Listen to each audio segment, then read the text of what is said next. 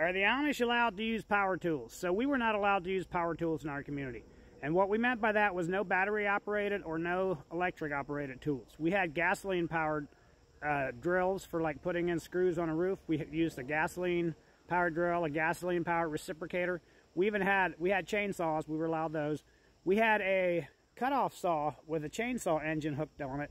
And every time you wanted to cut stuff, you would have to go start that chainsaw engine and then you could just cut it like an electric miter saw. And that was a really handy uh, invention. And some Amish guy came up with it. He converted a chainsaw engine to sit on the, the back of a DeWalt miter saw.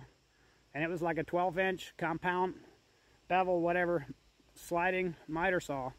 And we had one of those with a chainsaw engine on it on our crew. And I worked for the bishop.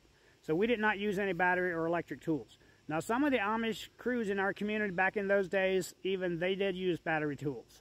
Especially if the homeowner was like, here, you guys can use my tools to make the job go easier, they would jump on that.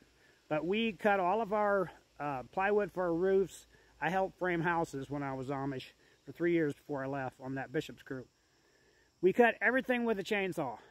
Uh, we had a table saw as well, and then that miter saw that we use sometimes for cutting studs. If we had to cut a bunch of studs, we, you know, send them through that miter saw and it made it a little bit easier. But yeah, everything, almost everything was done with a chainsaw and hand nailed.